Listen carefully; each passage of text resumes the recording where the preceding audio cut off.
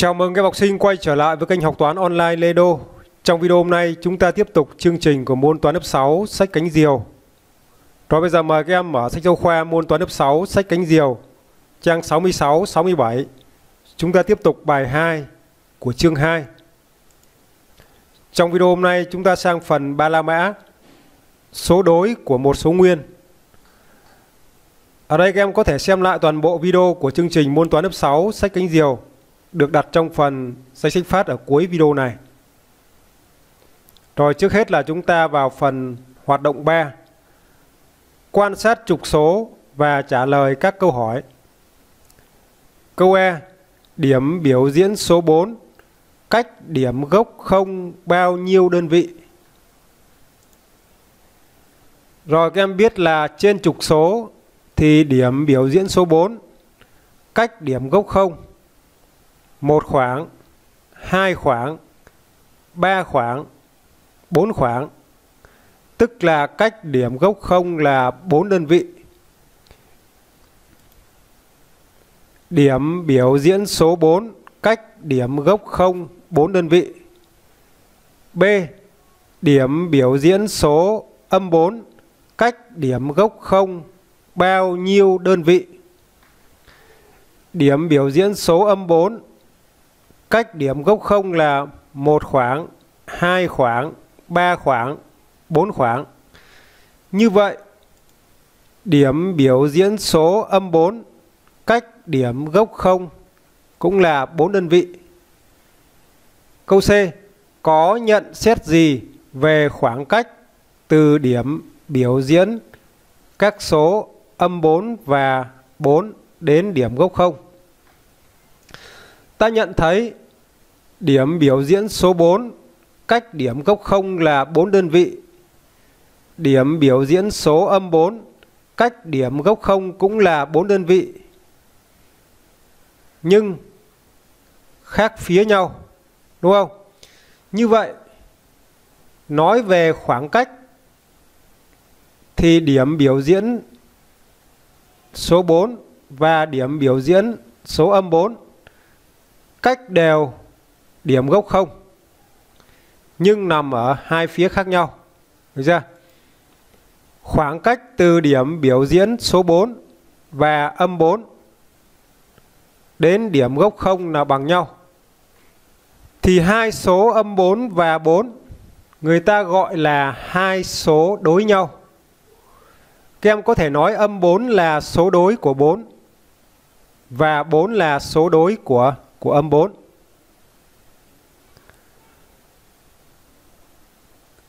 Tương tự, chúng ta có thể nói âm 1 và 1 là hai số đối nhau.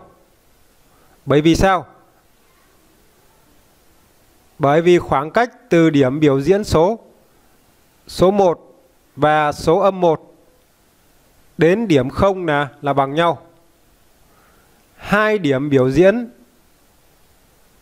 âm 1 và 1 cách đều điểm điểm 0 thì ta nói âm 1 và và 1 là hai số đối nhau. Tương tự chúng ta có âm 3 và 3 là hai số đối nhau. Âm 5 và 5 là hai số đối nhau. Âm 6 và 6 là hai số đối nhau. Ta cũng có thể nói 6 là số đối của âm 6 hoặc là âm 6 là số đối của 6. Rồi như vậy, chúng ta đi vào phần kiến thức trọng tâm. Trên trục số, hai số nguyên phân biệt, tức là hai số nguyên khác nhau nha. Có điểm biểu diễn nằm về hai phía của gốc không. Điểm biểu diễn nằm về hai phía của gốc không nha, chứ không phải là cùng phía. Và cách đều gốc không thì được gọi là hai số đối nhau. Rồi riêng số 0 thì số đối của nó chính là không. Số đối của không là không. Và chúng ta có nhận xét âm 4 và 4 là hai số đối nhau. Âm 4 là số đối của 4. Và chúng ta cũng có thể nói 4 là số đối của âm 4.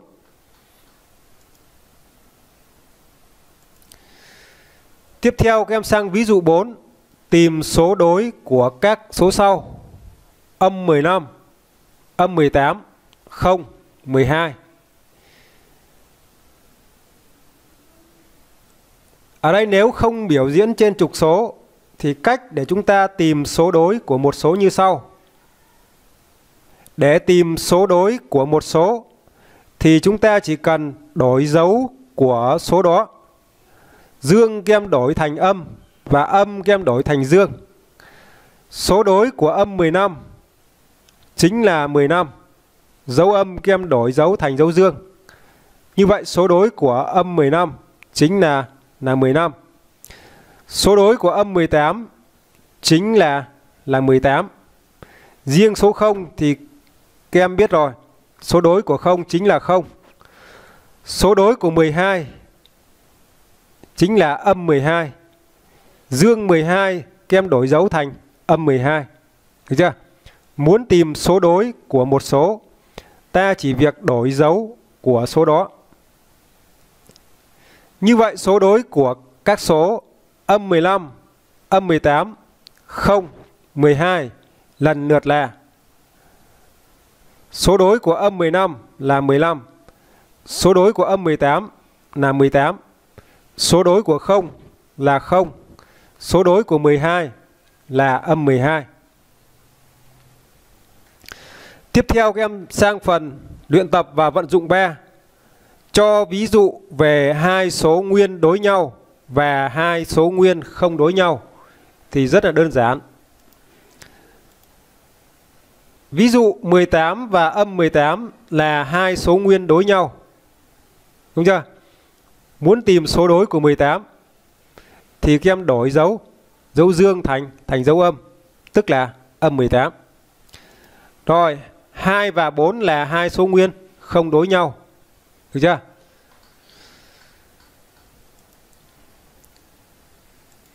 Tiếp theo, các em sang phần 4 la mã, so sánh các số nguyên. 1 So sánh hai số nguyên. Các em vào phần hoạt động 4. Câu E. Quan sát hai điểm, âm 3 và 2 trên trục số nằm ngang, và cho biết điểm âm 3 nằm bên trái hay bên phải điểm 2. Rồi cái này thì rất dễ.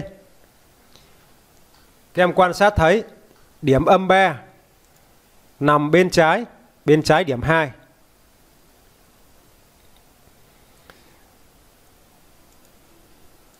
Như vậy các em trả lời là điểm âm 3 nằm bên trái điểm 2.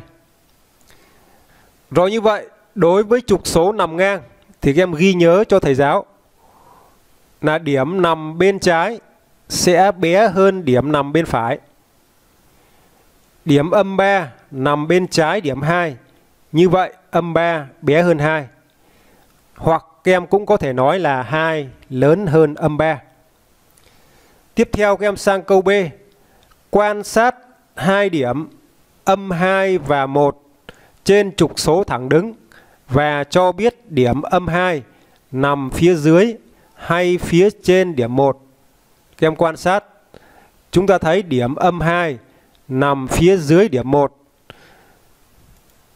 Điểm âm 2 nằm phía dưới điểm 1. Đối với trục số thẳng đứng thì điểm nằm dưới sẽ bé hơn điểm nằm phía trên. Như vậy ở đây âm 2 sẽ bé hơn 1 và ta cũng có thể nói là 1 lớn hơn âm 2. Rồi, trường hợp A. Đối với trục số nằm ngang, điểm bên trái bé hơn điểm bên phải. Âm 3 nằm ở bên trái 2 thì âm 3 bé hơn 2. Ta cũng có thể viết là 2 lớn hơn âm 3. Đối với trục số thẳng đứng thì điểm nằm phía dưới sẽ bé hơn điểm nằm phía trên. Âm 2 nằm phía dưới 1 thì âm 2 bé hơn 1 và ta cũng có thể viết là 1 lớn hơn âm 2.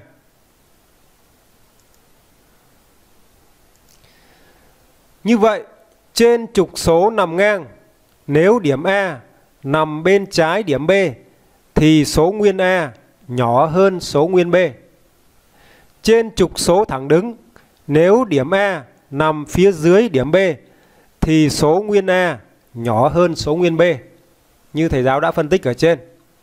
Nếu A nhỏ hơn B thì ta viết là A bé hơn B hoặc là B lớn hơn A.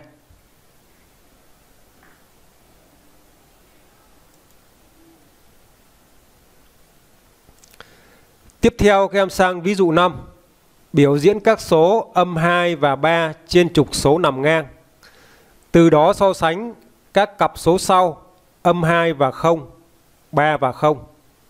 Rồi trước hết là chúng ta biểu diễn các số âm 2 và 3 trên trục số nằm ngang. Ta nhận thấy điểm âm 2 nằm ở bên trái điểm 0. Cho nên âm 2 sẽ bé hơn 0.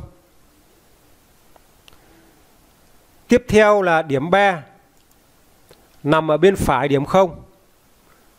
Cho nên 3 lớn hơn 0. Rồi các em chỉ cần nhớ cho thầy giáo. Số nguyên biểu diễn điểm bên trái sẽ bé hơn số nguyên biểu diễn điểm bên phải. Và chúng ta cũng có thể nói số nguyên biểu diễn điểm bên phải lớn hơn số nguyên biểu diễn điểm bên bên trái. Và ở đây các em ghi nhớ cho thầy giáo, số nguyên dương thì luôn lớn hơn không, còn số nguyên âm thì luôn nhỏ hơn không.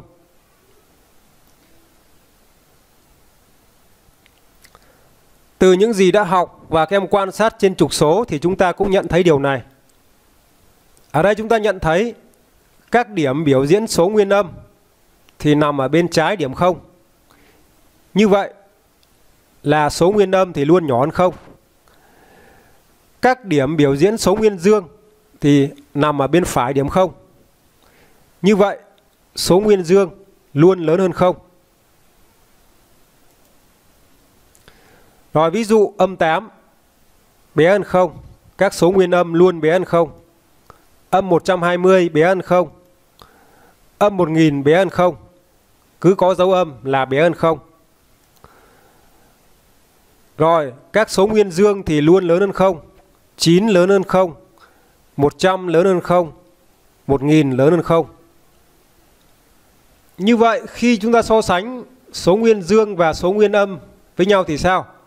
Thì em ghi nhớ cho thầy giáo là số nguyên dương thì luôn luôn lớn hơn số nguyên âm. 100 lớn hơn âm 100. 9 lớn hơn âm 18. Các em nhớ là số nguyên dương luôn lớn hơn số nguyên âm. Được chưa? Số nguyên âm luôn bé hơn 0. Số nguyên dương luôn lớn hơn 0. Từ đó chúng ta suy ra số nguyên dương luôn lớn hơn số nguyên âm. 100 lớn hơn âm 100. 9 lớn hơn âm 18. 1 lớn hơn âm 18, vân vân. Rồi tiếp theo là các em sang ví dụ 6, quan sát trục số sau. Trên trục số nằm ngang, người ta biểu diễn các điểm A, B, C. Dùng ký hiệu bé hơn, lớn hơn để biểu diễn quan hệ giữa các cặp số nguyên A và B, B và C, A và C. Rồi các em biết là điểm biểu diễn số nguyên bên trái sẽ bé hơn điểm biểu diễn số nguyên bên phải. A ở bên trái B, cho nên A sẽ bé hơn B. B ở bên trái C, cho nên B sẽ bé hơn C.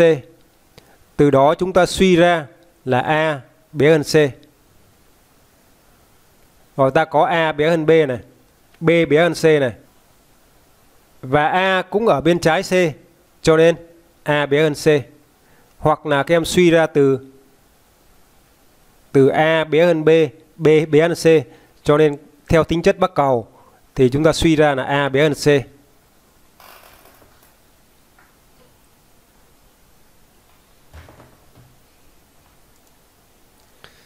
Rồi, ở đây các em ghi nhớ A bé hơn B mà B lại bé hơn C thì suy ra A bé hơn C. Tính chất này người ta gọi là tính chất bắc cầu. Tiếp theo em sang ví dụ 7, quan sát trục số nằm ngang và chọn các từ nằm bên trái, nằm bên phải, nhỏ hơn, lớn hơn hoặc các dấu là bé hơn, lớn hơn tích hợp cho dấu hỏi chấm. Rồi các em quan sát trục số nằm ngang, biểu diễn các điểm âm 5, âm 4, âm 3, 0, 2. Ở đây người ta làm mẫu cho chúng ta như sau. Điểm âm 5 nằm bên trái điểm âm 3. Nên âm 5 nhỏ hơn âm 3 và viết là âm 5 bé hơn âm 3. Được chưa? Rồi theo mẫu, câu A. Chúng ta nhận thấy điểm âm 4 này, nó nằm ở bên trái điểm âm 3. Đúng không? Điểm âm 4 nằm ở bên trái điểm âm 3. Nên âm 4 nhỏ hơn âm 3. Nằm ở bên trái thì nhỏ hơn, nằm ở bên phải thì thì lớn hơn. Nên âm 4 nhỏ hơn âm 3 và ta viết là âm 4 bé hơn âm 3. B. Điểm 2. Điểm 2 so với điểm âm 5 thì điểm 2 nằm ở bên phải điểm âm 5. Đúng không? Điểm 2 nằm bên phải điểm âm 5. Nằm bên phải thì thì lớn hơn. Nên 2 lớn hơn âm 5 và viết là 2 lớn hơn âm 5. Được chưa? Các em chỉ cần nhớ cho thầy giáo, trên trục số nằm ngang, thì bên trái bé hơn bên phải. Bên phải lớn hơn bên trái. Trên trục số thẳng đứng, thì dưới bé hơn trên. Và ta cũng có thể nói là trên, lớn hơn dưới. Rồi đến đây thì chúng ta có thể tóm tắt một số kiến thức mà chúng ta đã học được. Khi chúng ta so sánh hai số nguyên dương là 12 và 18 thì cái này chúng ta đã biết cách so sánh rồi. Thầy giáo sẽ không nhắc lại nữa. Hai số nguyên dương so sánh với nhau. 12 tất nhiên là bé hơn 18. Đúng không?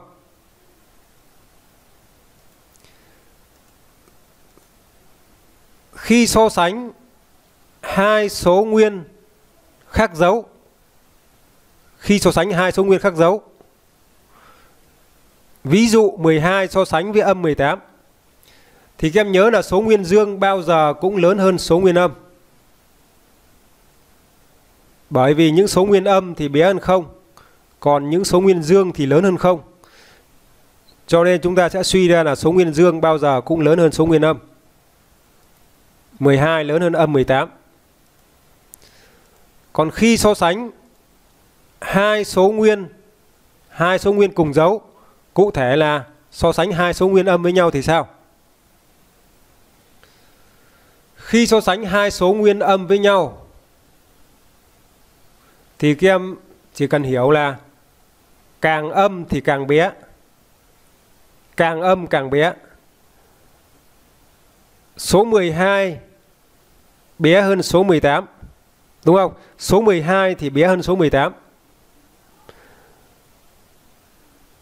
Như vậy âm 12 so với âm 18 thì âm 18 nó âm hơn, nó âm hơn. Càng âm thì càng bé. Số 18 âm hơn, đúng không? Như vậy là âm 12 lớn hơn âm 18. Các em nhớ cho thầy giáo là càng âm càng bé. Ví dụ một người nợ âm là thể hiện là nợ hoặc là thua lỗ. Một người nợ 12.000, một người nợ là là 18.000 thì người nợ 18.000 là nợ nhiều hơn, đúng không? Càng âm thì càng bé. Âm 18 so với âm 12 thì âm 18 nó âm hơn. Nó âm hơn cho nên nó bé hơn, được chưa? Các em hiểu cho thầy giáo là càng âm càng bé. Rồi ví dụ, ta có số 18 so sánh với số 20 thì số 20 nó lớn hơn số 18 Số 20 lớn hơn số 18. Nhưng âm 18 mà so sánh với âm 20 thì ta sẽ đổi dấu ngược lại. Là âm 18 lớn hơn âm 20. Âm 20 thì nó âm hơn. Càng âm thì càng bé. Được chưa? Rồi tiếp theo các em sang phần luyện tập và vận dụng 4. Viết các số sau theo thứ tự tăng dần. Âm 6, âm 12, 40, 0, âm 18. Để viết các số theo thứ tự tăng dần, tức là các em viết từ bé đến lớn, bé viết trước và lớn viết sau. Như vậy các số viết theo thứ tự tăng dần là Ở đây các em biết là các số nguyên âm thì bao giờ cũng bé hơn không. Còn các số nguyên dương thì bao giờ cũng lớn hơn không. Cho nên các số nguyên âm thì các em sẽ viết trước. Các số nguyên âm các em viết trước. Và các em nhớ là càng âm càng bé. Âm 6, âm 12, âm 18. Thì âm 18 nó âm hơn. Cho nên âm 18 là bé nhất. Rồi lớn hơn âm 18 là âm 12. Lớn hơn âm 12 là âm 6. Lớn hơn âm 6 chính là 0. Và lớn hơn 0 chính là là 40. Như vậy chúng ta đã viết được các số theo thứ tự tăng dần. Ở đây các em chỉ cần ghi nhớ cho thầy giáo là số nguyên dương thì bao giờ cũng lớn hơn số nguyên âm. Còn hai số nguyên âm với nhau thì là càng âm càng bé. Thấy chưa? Càng âm càng bé. Rồi tiếp theo là các em sang phần 2, cách so sánh hai số nguyên. A. So sánh hai số nguyên khác dấu. Và thực ra, so sánh hai số nguyên khác dấu là chúng ta vừa mới học xong, đúng không? Phần hoạt động 5 biểu diễn các số âm 6 và 4 trên trục số. Từ đó, hãy so sánh âm 6 và 4. Rồi trước hết là các em biểu diễn các số âm 6 và 4 trên trục số. Ta nhận thấy điểm biểu diễn số âm 6 nằm ở bên trái điểm biểu diễn số 4. Như vậy, âm 6 bé hơn 4. Rồi, ở bên trái thì bé hơn. Ở bên phải thì thì lớn hơn. Âm 6 bé hơn 4.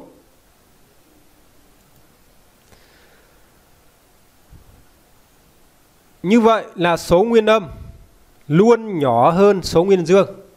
Rồi, các em ghi nhớ cho thầy giáo là số nguyên âm luôn nhỏ hơn số nguyên dương.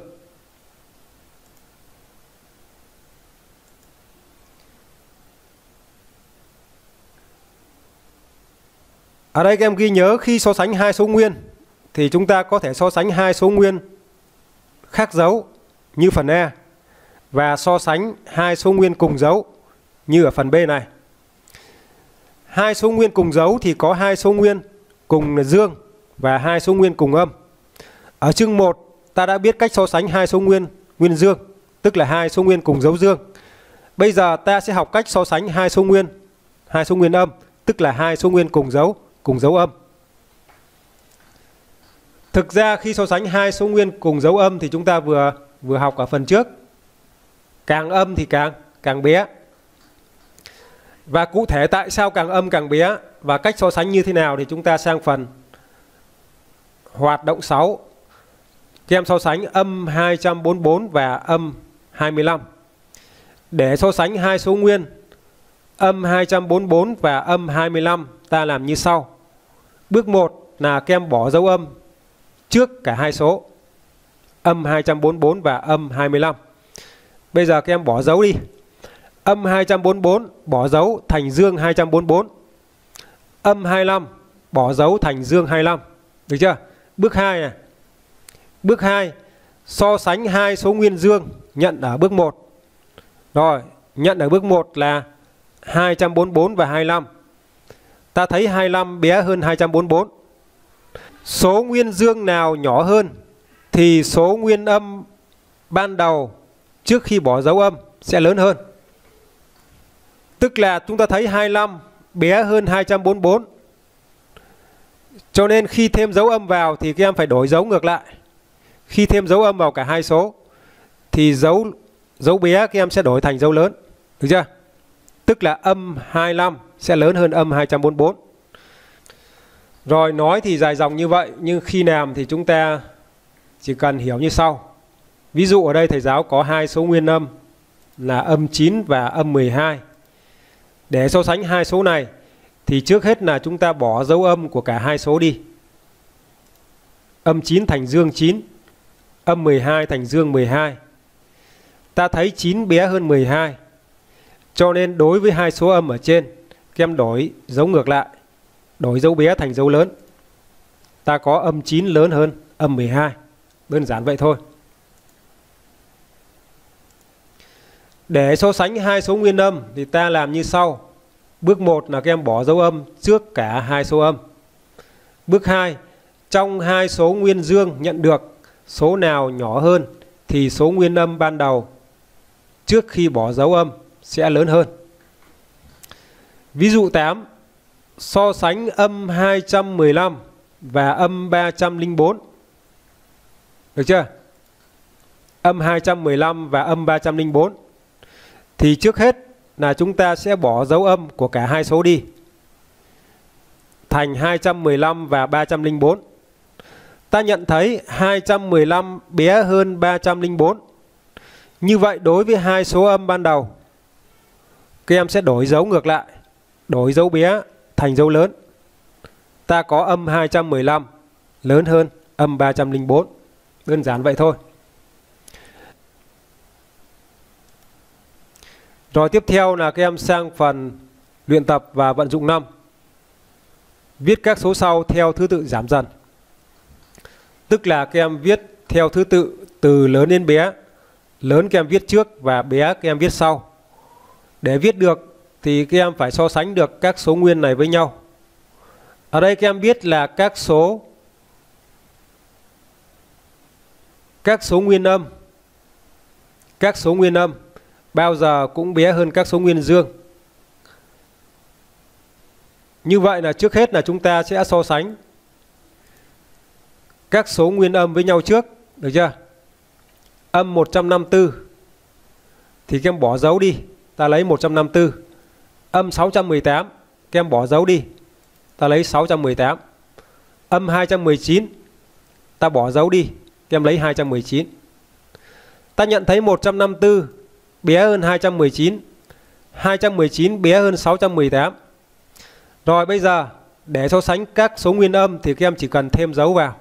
Thêm dấu âm vào đằng trước và các em đổi dấu so sánh đi. Được chưa? Thêm dấu âm vào đằng trước này. Và các em đổi dấu so sánh đi. Bé thì chúng ta đổi ngược lại thành lớn. Được chưa? Rồi, những số âm này thì bao giờ cũng bé hơn số dương. Tức là bé hơn 58. Vậy các số viết theo thứ tự giảm dần là 58 lớn nhất đến âm 154 đến âm 219 và đến âm 618.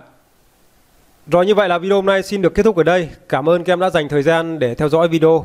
Đừng quên ủng hộ kênh Học toán online Lê Đô bằng cách nhấn vào nút đăng ký và bấm chuông để nhận được những video mới nhất. Các em có thể xem lại toàn bộ video của chương trình môn toán lớp 6 sách kênh Diều được đặt trong phần danh sách phát ở cuối video này.